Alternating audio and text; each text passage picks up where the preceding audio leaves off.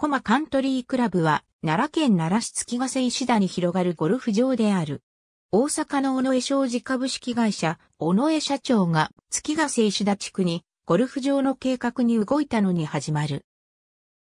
尾上社長の関係にある月ヶ瀬町長、稲垣昭一が側面から協力した。ゴルフ場の建設用地の石田地区は昔は琵琶湖の固定だった。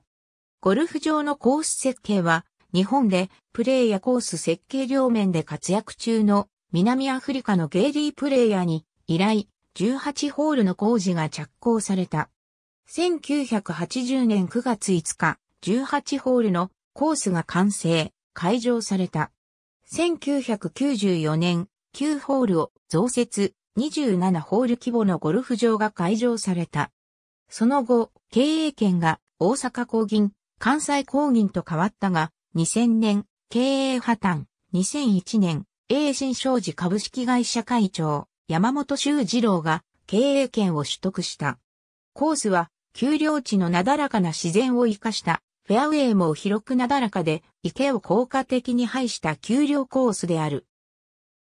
日本のプロゴルフメジャー大会の一つ、日本プロゴルフ協会主催競技でもあり、日本選手権大会に相当する日本プロゴルフ選手権大会などの大会開催の実績がある。